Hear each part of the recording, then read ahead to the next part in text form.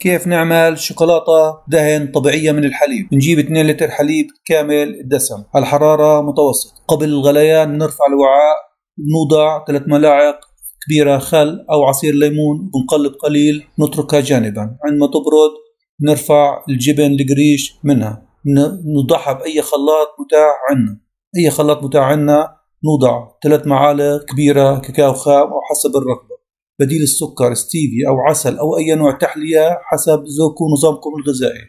نوضع قليل من الفانيلا وبنخفق جيد.